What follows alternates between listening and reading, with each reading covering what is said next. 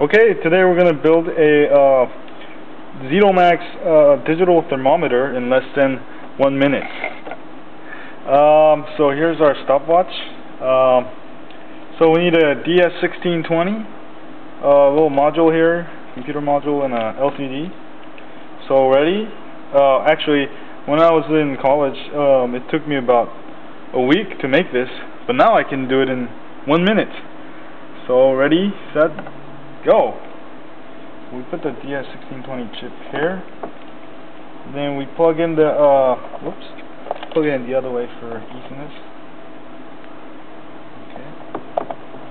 Then plug in uh, pin 1 of the DS1620 chip to pin 26 there.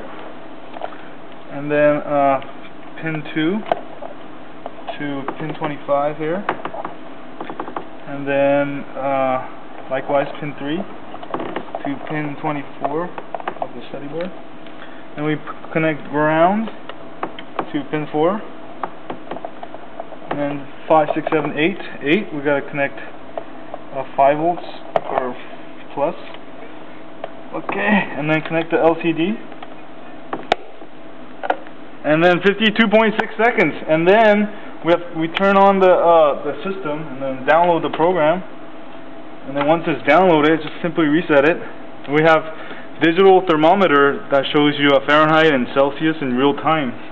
This took me about uh, uh, two two minutes or uh, one minute. And we have a we can put an ice block of ice on the chip itself and see the digital thermometer working so I'm putting on the chip, it's going down fast.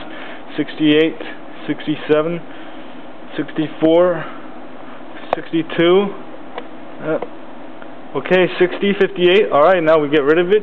Now we we raise the temperature. Going back up, 60. Alright, there you have it. You have a digital thermometer in one minute.